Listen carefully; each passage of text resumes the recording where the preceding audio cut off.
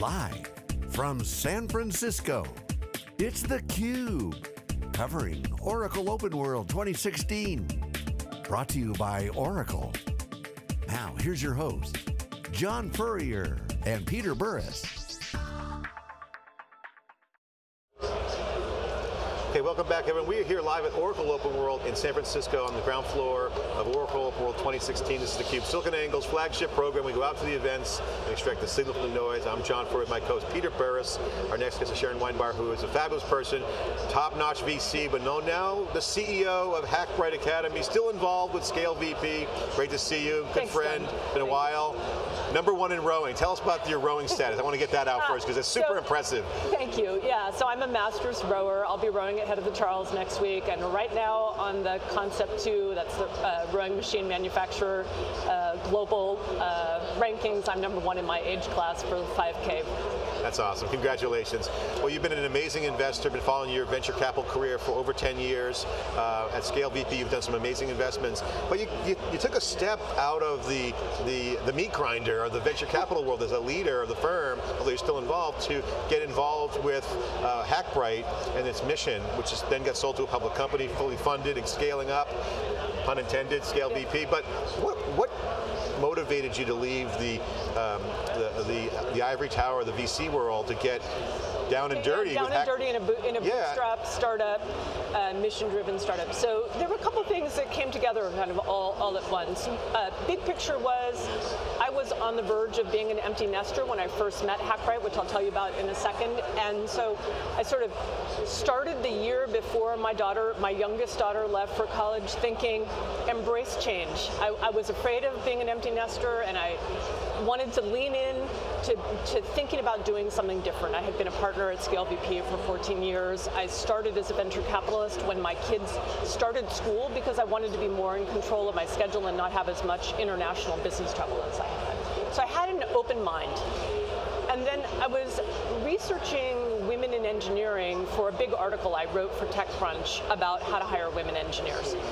And I looked into how many women engineers were being graduated in traditional computer science programs in, in colleges, and the numbers the percentages are increasing, but the actual absolute number is vanishingly small. So top 20 computer science programs graduated 500 women in computer science. So if Google hired all of them, it would change their ratio by one and a half percentage points. The whole rest of the industry would Yeah. get scratched. And I wasn't A blip in the radar, basically. It's a rounding Right. error for the Right. stats. I wasn't willing to buy into it's a pipeline problem, right? That's what a lot of men suppose. There just aren't women who are interested in. So I went looking for alternative sources of high quality engineering candidates. I reached out to HackBright on Twitter. They invited me to come in for a coffee meeting. It was supposed to be a half an hour. And I spent three hours with the founder, who is a young fellow. Um, and we just had a mind meld, and I fell in love with the concept.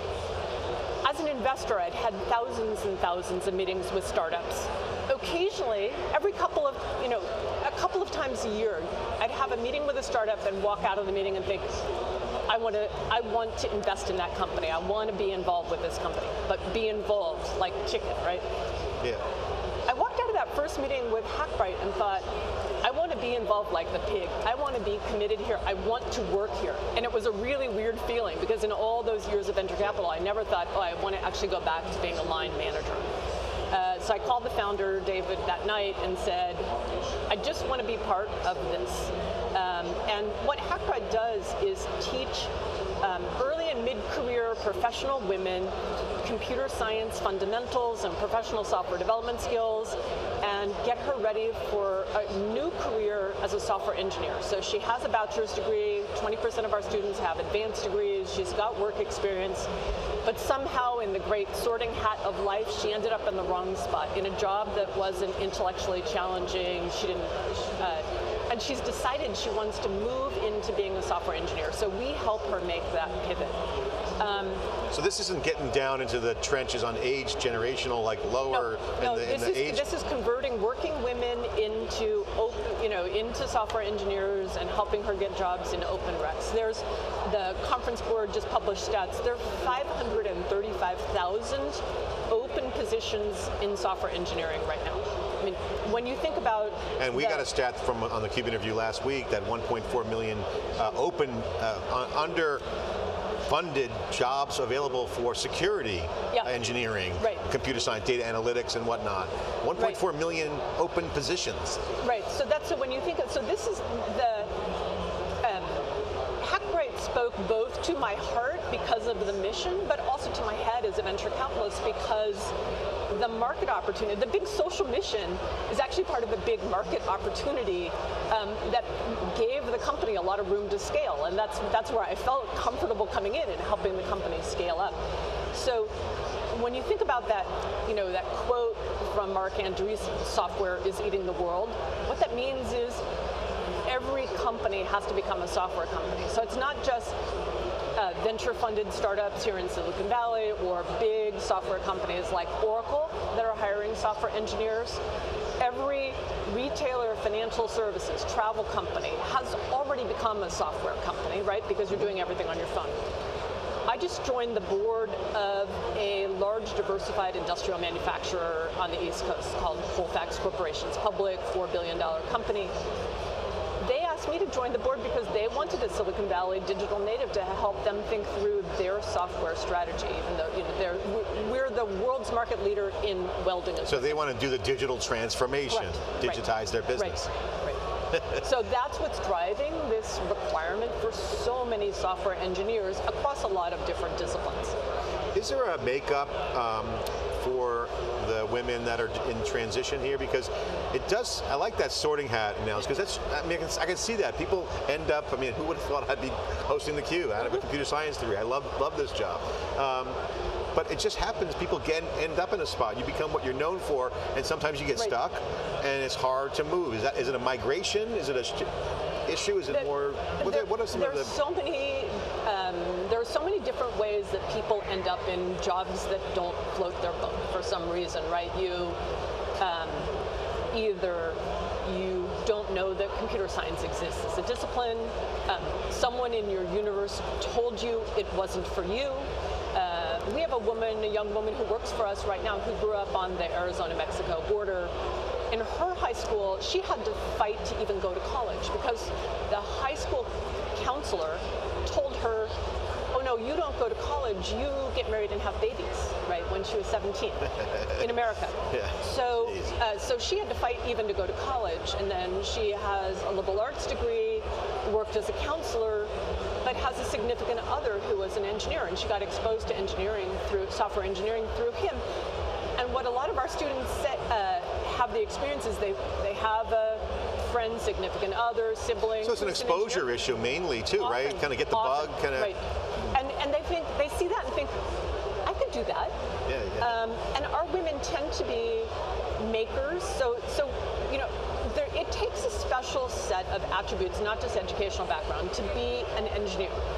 Um, you want to have to build things. So our students are often makers. They they're cooks. They build things. They make their own honey. They make their own makeup. They have you know they they have creative innate energy. ability. You can see the natural right. natural ability. Right, and they well they have a vision for how something should be, and they can find the path to that.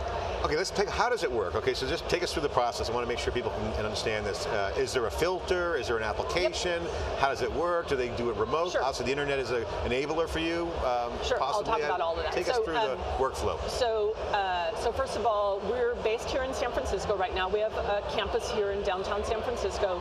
About 20% of our students come from outside the Bay Area and they apply and uh, get in and come, and the majority of our students are from this region.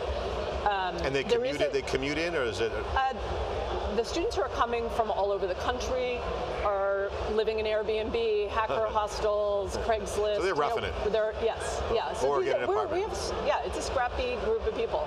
Uh, you know, they're they're willing to quit their job, pay a nearly seventeen thousand dollar tuition, invest in themselves to transition their career we have a competitive application process. So uh, you have to um, fill out a form, write an essay.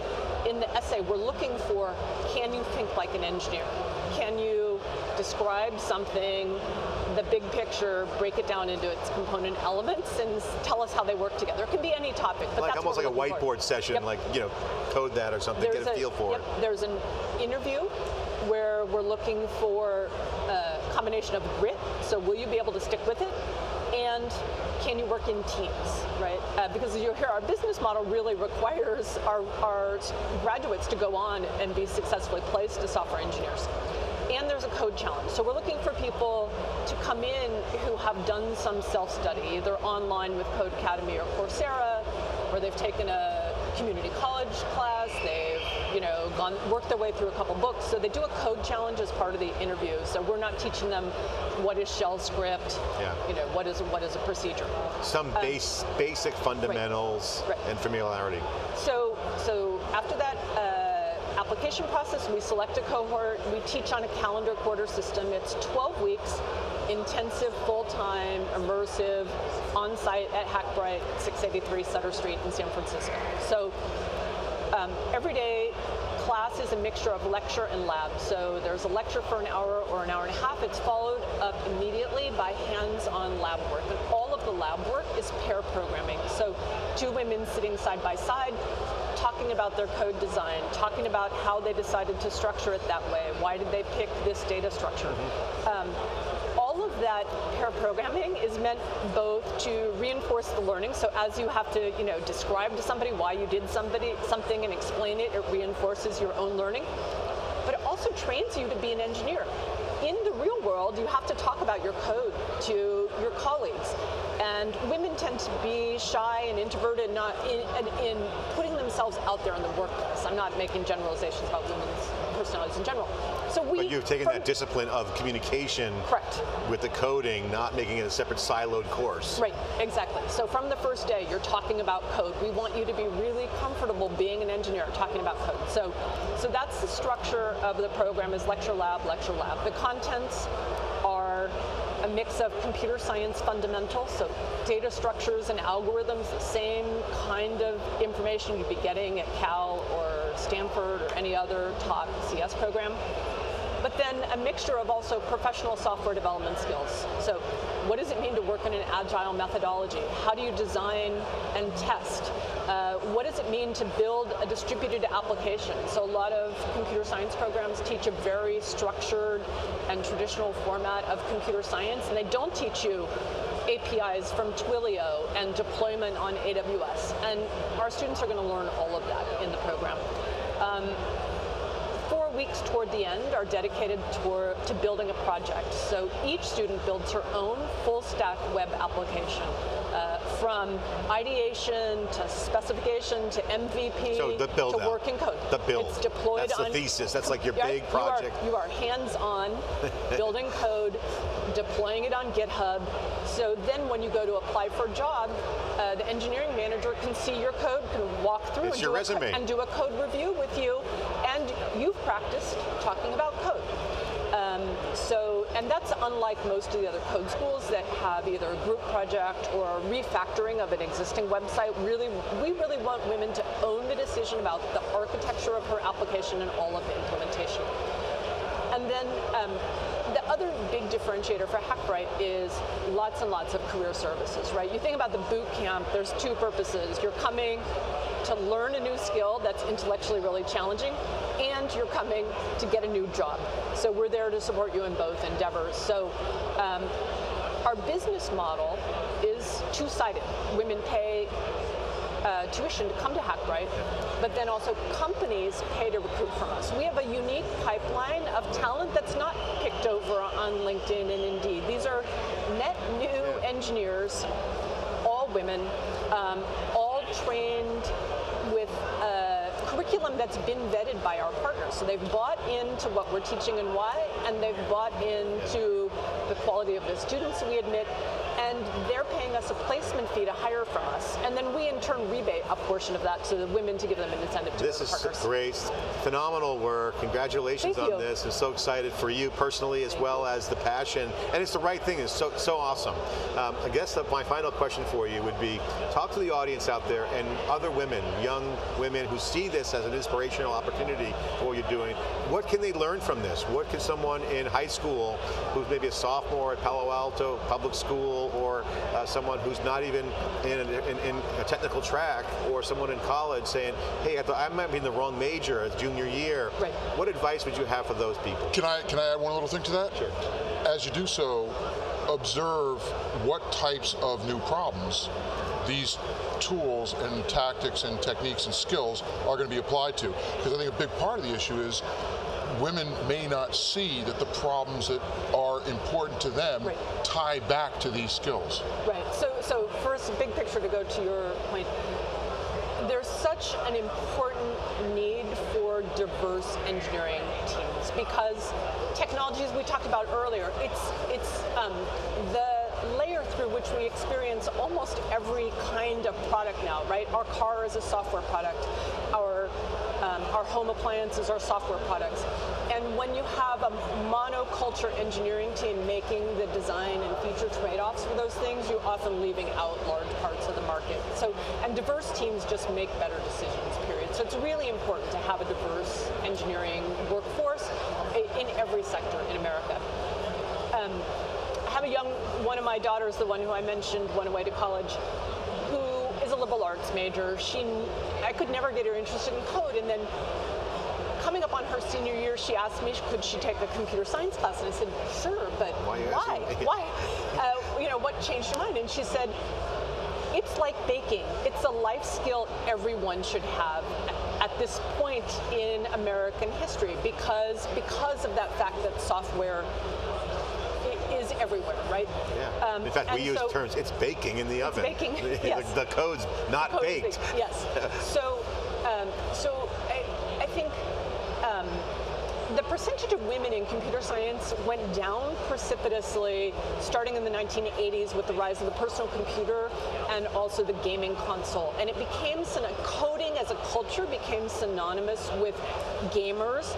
And even, even my kids, you know, who grew up steeped in the software business, um, thought of thought of coders as you know guys in sweats in the basement in front of the Xbox, and that is just not true. So software is being used by lots and lots and built by lots of different kinds of people. So women, women um, should think there is a place for you in software. It's not you. You know you can belong in this environment. I think that you know many of us have the impression this, you know, there no ambient the sense of belonging. right. kind of thing. Um, yeah. And so there's lots of ways to try it, and I would say try it and see if you like it.